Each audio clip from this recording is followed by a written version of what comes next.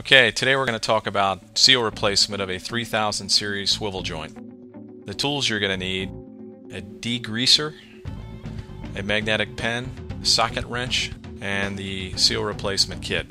With a 3000 series swivel, it's necessary to remove the ball bearings to gain access to the seals.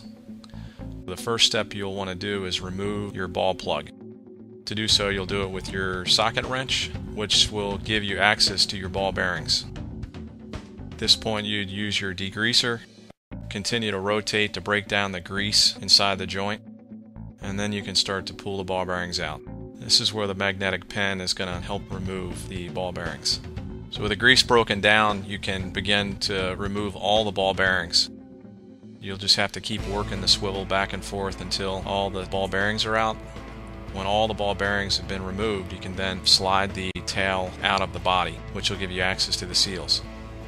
In this case, we have a elastomeric O-ring main seal and a felt environmental seal. In your seal replacement kit, you'd have a new O-ring, which you'd insert down into the body, a felt dust seal, which you'd wrap around the tail. And on some cases, you may have an O-ring in place of the felt dust seal, which you would put in the same groove. With your main seal and environmental seal in place, you then insert the tail back into the body until everything is seated. At this point, begin to replace the ball bearings into the swivel. And you want to drop them in and just rotate to get them to distribute within both races.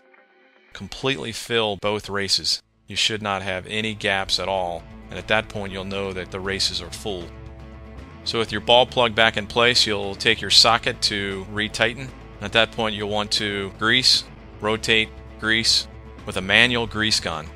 A couple of notes. The seal replacement for a small swivel, like you see here, all the way up to a 12 inch, the procedure is identical.